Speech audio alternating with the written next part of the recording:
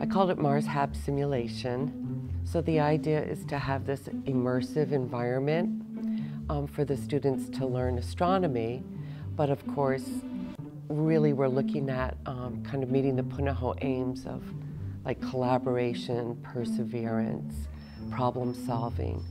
Um, so the idea was that they would build these domes and they would live, that is, go to their classroom and be in these domes for about a month and solve problems that have to do with trying to live on Mars.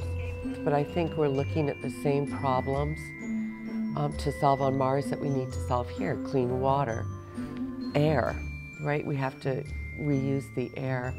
Um, how do we form a community that can be sustainable with limited resources? So I think if we put our energies and thoughts into either into Mars, it's going to be a double win because it will help us with our issues here on Earth. So we started last year with just looking at the structure and we um, got some plans for these zip tie domes just to see if they would work and they worked great. They were easy to put up. Um, I taught a group of students and they in turn became the leaders to um, organize the building of the dome with their group. Um, and they were lightweight and easy to move, so that was great. So we, we got the basic structure, the physical structure. And then I just did research to model off of like Challenger Center missions um, and sort of sifting through and talking with people who had creative ideas.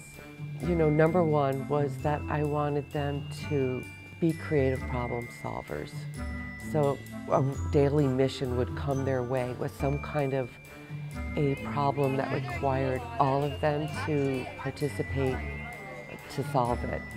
So that was a big deal, the whole problem solving, and of course with that comes that collaboration piece. It was super fun. They were um, learning alongside with me because we all knew this was a pilot program. They had great enthusiasm. Um, they helped me with the technology piece, which um, we had like a mission control set up in here, and so we were using the WebEx video conferencing software to speak with each other and walkies. And um, they were awesome. They were just what I would hope. They were enthusiastic.